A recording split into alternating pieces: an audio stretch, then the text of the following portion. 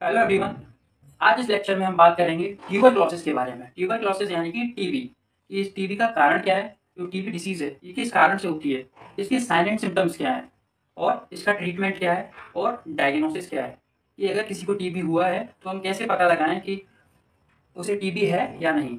और इसके ट्रीटमेंट क्या है? कौन कौन सी दवाइयाँ यूज़ होती हैं ट्यूबरक्लोसिस के ट्रीटमेंट में?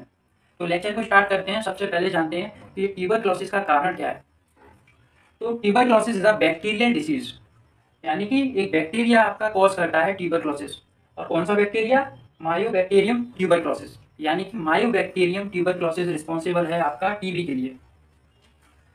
ये बैक्टीरिया बेसिकली क्या करता है? आपके लंग्स को, आपके लंग्स को अफेक्ट करता है. तो कहाँ अफेक्ट करता है ये बैक्टीरिया ट्यूबरक्लोसिस मायोबैक्टीरियम ट्यूबरक्लोसिस आपके लंग्स में. क्वेश्चन है कि क्या ये टीबी केवल लंग्स में ही होती है? नहीं, ये अदर बॉडी पार्ट्स में भी होती है।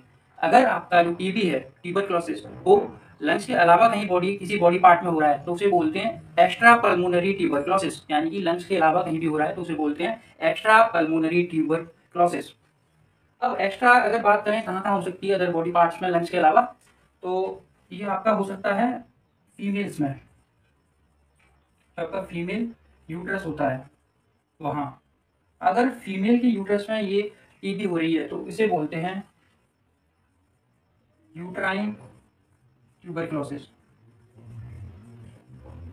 अगर फीमेल्स में हो रही है। अगर जो टीबी है वो आपकी फीमेल यूट्रस में होगी तो क्या कॉज करेगी? इनफर्टिलिटी इन फीमेल्स यानी कि फीमेल प्रेग्नेंट नहीं हो पाएँगी इस टीबी की वजह से। और दूसरा ये कहाँ हो सकती है लेंस के अलावा ये आपके गट गट में। क्या बोलते हैं? एब्डोमेन ट्यूबरक्लोसिस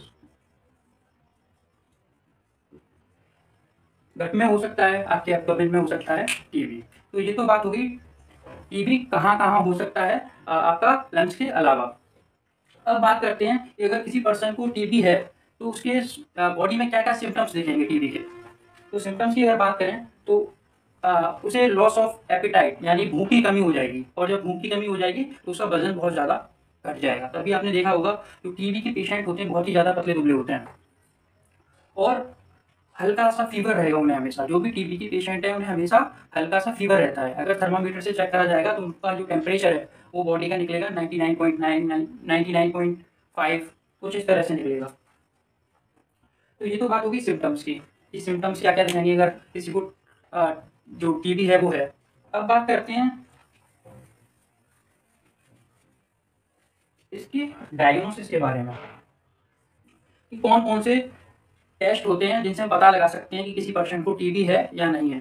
तो डायग्नोसिस की अगर बात करें तो आपका टेस्ट होता है स्पूटम टेस्ट इस टेस्ट में क्या होता है?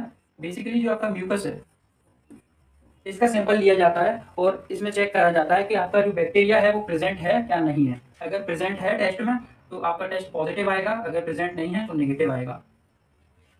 और दूसरा एक्सरे टेस्ट भी होता है, उससे भी हम पता कर सकते हैं कि पर्सन को टीबी है या नहीं।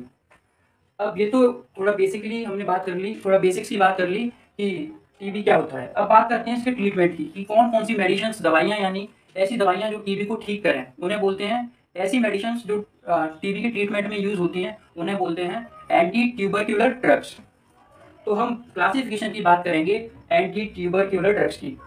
क्लासिफिकेशन को यहाँ मैंने फोर के फोर ग्रुप में डिवाइड कर रखा है। ग्रुप वन ग्रुप सेकेंड और group third group fourth group one के अंदर जो ड्रग आती हैं ग्रुप वन की अगर बात करें तो इसे फ़र्स्ट लाइन ओरल ड्रग्स भी बोलते हैं। इसके अंदर जो ड्रग आती हैं होती हैं फ़र्स्ट लाइन ओरल ड्रग्स अगर इनके एग्जाम्पल्स की बात करें तो इसमें आती है आपकी आइसोनियाजाइड जिसका सिंबल एच है रिफा रिफेम्पिन जिसका सिंबल आर है पायराजिनामाइड जिसका सिंबल जेड है इथेम्ब्यूकॉल जिसका सिंबल ई है।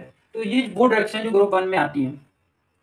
ग्रुप सेकंड में जो ड्रग्स ड्रग्स आती हैं, वो इंजेक्टेबल ड्रग्स होती हैं। यानी कि उन्हें हम इंजेक्शन के फॉर्म में ले इंजेक्शन के फॉर्म में लेते हैं।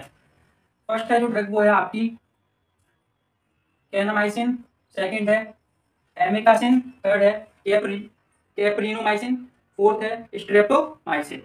तो ये सारी ड्रग आपकी ग्रुप सेकेंड के अंदर आती है, जिन्हें हम इंजेक्शन के फॉर्म में लेते हैं।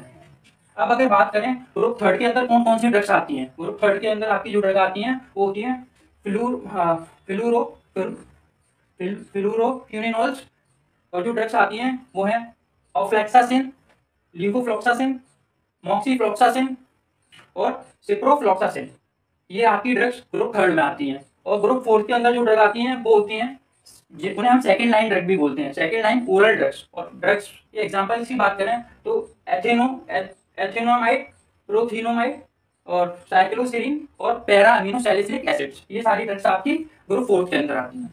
तो ये तो बात होगी classification of anti tubercular drugs की।